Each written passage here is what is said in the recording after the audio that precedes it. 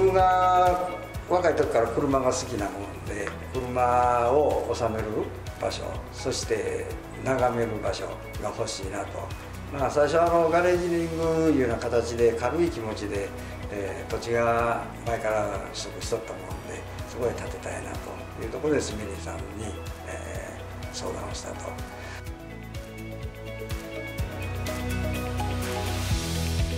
まあどこのお家も乗れる車が、うんあると思うんですよ。まあ特殊なレーシングカーまで置いてるお家はまあどこ探してもないと思います。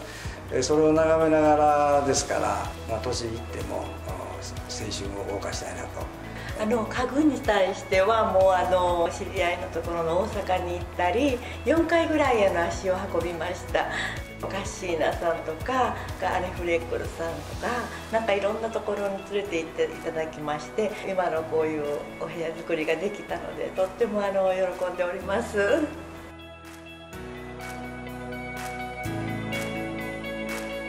まあ、僕は岡田さんと設計の方と、えー、一緒に話して僕の意向あこういう考え方なんだなという想像の中で生み出していただいたのが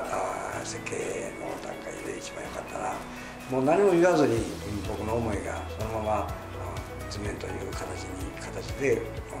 落とし込んでいただいたというのがもう最大の決めポイントです。何にも言うこともございません。これ以上。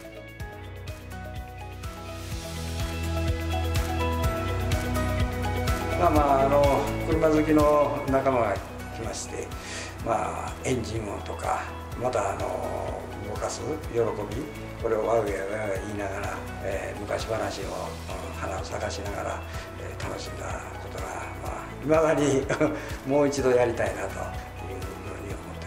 どの部屋からもなんかすごくあの光とかそういうのをよく考えていただいててもう冬なんかでもあの床暖房だけであったかいあの一日が暮らせるようにしてもらってますのでもう憩いの場所あのセカンドハウスっていう感じで満足しております。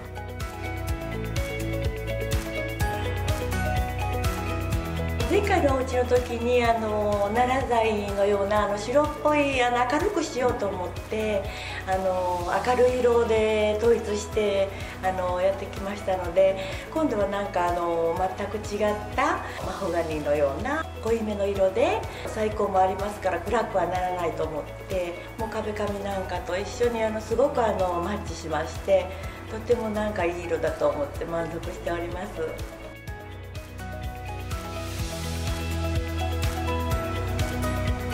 あ最初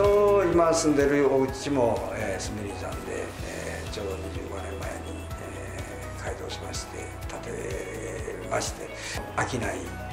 設計でそしてあのみんなからもいい家だなというて褒めていただく、